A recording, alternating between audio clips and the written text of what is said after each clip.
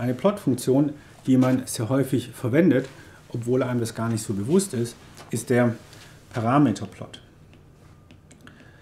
In einem normalen Plot stellt man ja zum Beispiel dar, y ist gleich Sinus von x.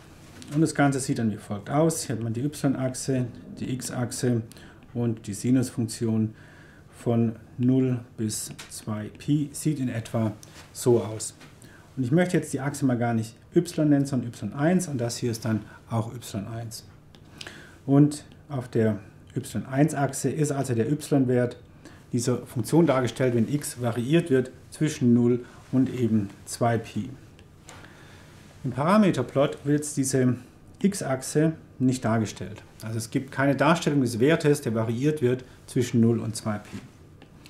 Vielmehr hat man noch eine zweite Funktion, y2, zum Beispiel Cosinus von x. Wenn man auch hier den entsprechenden Plot hat, dann sieht er in etwa so aus. Nicht ganz hier unten, aber ähm, von der Idee her ist schon klar. Und dann hat man auch hier die y2 und hier wieder x.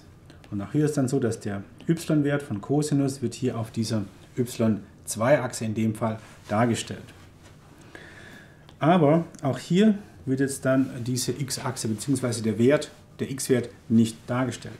Vielmehr nimmt man jetzt die beiden Achsen dieser zwei Funktionen y1 und y2 und stellt, das, und stellt die jeweils auf diesen beiden Achsen dar.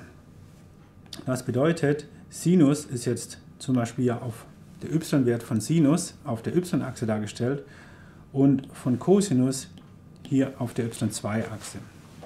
Also sozusagen hätte man hier den Sinus x-Wert auf der y1-Achse und den Sinus, äh, den Cosinus x-Wert auf der y2-Achse. Und den Parameter x oder die Variation des Parameter x sieht man nicht, ähm, wird natürlich weiterhin variiert, aber nicht dargestellt. Und das möchte ich nochmal etwas besser veranschaulichen hier in dem, äh, mit dem Mathematika-Programm. Dazu zunächst mal der Sinusplot x auf dem Intervall von, also die Variable ist x, auf dem Intervall von 0 bis 2 Pi. Und dann stelle ich das da und bekomme hier wieder diese Sinusfunktion, wie eben schon gezeigt. Jetzt will ich noch den Cosinus darstellen. Kopiere ich die Funktion und schreibe hier Cosinus rein. Dann habe ich den Cosinus allerdings auf zwei verschiedenen Diagrammen. Ich möchte aber gerne nur ein Diagramm haben. Dazu mache ich im Plot eine Liste und schreibe dann hier rein Cosinus von x und kann das weglassen. Dann habe ich ein Diagramm und da ist der Cosinus dargestellt und der Sinus gleichzeitig. Wenn man das vielleicht noch sehen will, könnte ich ähm, äh, Plot Legends reinmachen. Expressions, dann sieht man noch in blau Sinus, in orange der Cosinus. Jetzt möchte ich daraus einen Parameterplot machen. Und im Grunde genommen habe ich dafür schon alles, denn im Parameterplot hat man auch eine Liste und dann hat man einmal für die x-Achse Sinus und für die y-Achse hier Cosinus. Also einmal Sinus, einmal Cosinus für x und für y. Der Befehl heißt aber Parametric Plot. Und dann kann ich den darstellen. Und wie kommt denn hier? Und dann ist auf der y-Achse einmal Sinus und auf der Cosinus-Achse einmal, äh, auf der x-Achse einmal Sinus auf der y-Achse einmal Cosinus dargestellt oder eben umgekehrt. Und dann als solches bekommt man dann diesen Kreis heraus. Und ich habe hier mal ein Programm gemacht, um es noch ein bisschen genauer darzustellen. Hier kann ich jetzt den x-Wert mal verändern. Wie gesagt, der wird dann nicht mit dargestellt, beziehungsweise hier in dem ersten Plot mit Sinus und Cosinus wird er mit dargestellt. Hier im zweiten ist der Parameterplot.